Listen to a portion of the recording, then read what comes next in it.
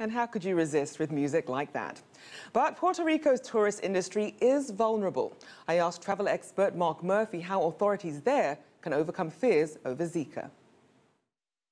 The Caribbean is probably the best at mosquito uh, mitigation as it is, right? So they've dealt with mosquitoes and they've dealt with this for years. So they've got treatment programs, they're spraying, they're doing all the things. So the chances are you're not going to be affected. But then you take the extra precaution, you wear a DEET uh, mosquito repellent, you make sure you're sensible um, at those hours when mosquitoes are more active, you just stay inside.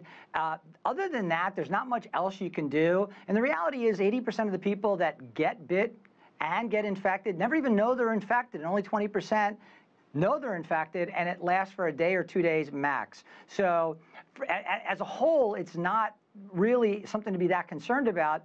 The only thing is this, this connection they're trying to make with pregnancy and this microencephaly, and they still don't know if it's definitely attributed to the virus. They believe it is. So I would just say, listen, if you're in that in that mode, use extra caution and don't travel to those regions. But for everybody else, what's happening is they're discounting prices. You're getting a much better deal. So for those who want to travel and love the Caribbean and aren't concerned about it, then I encourage them to go. And they're actually going to save a lot on their trip. I mean, to be frank, they're going to save money as a result of this and have a great vacation.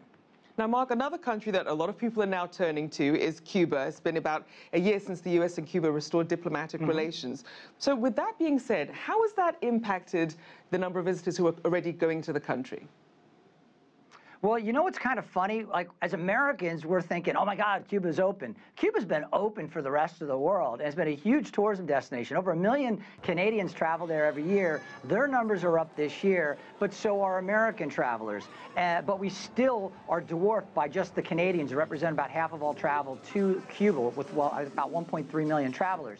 So let's say last year 150,000 Americans went. Maybe this year we'll see two to 250,000, but it's still tiny relative to the Cuban market because there's still plenty of restrictions in place. And for Americans traveling to Cuba, it is a really expensive trip versus going to any other Caribbean destination. But Cuba's unique, and I just got back from Cuba a month ago. I absolutely loved it, and I want to go back again. But they've got to make some significant investment in their infrastructure if they're going to be able to handle any kind of increase in travel. And that's going to be their Achilles heel for the foreseeable future. The big story for the last two weeks or so has been the whole Brexit story, something that, you know, obviously a lot of people didn't see coming. So how do you expect political uncertainty in the UK to affect tourism in that region? it's going to be a boom boom for tourism in the UK. I mean, when the dollar gains against the pound and when the euro gains against the pound, it makes inbound tourism to the UK incredibly attractive. So you're getting a 20 to 25% discount on travel to the UK now. I'm projecting that that value of the pound is going to drop much further in the next six to 12 months. It's going to get cheaper and cheaper to go there. Basically, Go there and do your shopping at Harrods. Go there and stay in hotels for 30, 40, 50% cheaper than it would have cost you a year or two ago. Looking ahead, in terms of some of these emerging trends, something that you're seeing people mm -hmm. really gravitating towards, and let's actually start with our Chinese tourists who clearly spend a lot yeah. of money, very interested in travel. What are you seeing them interested in?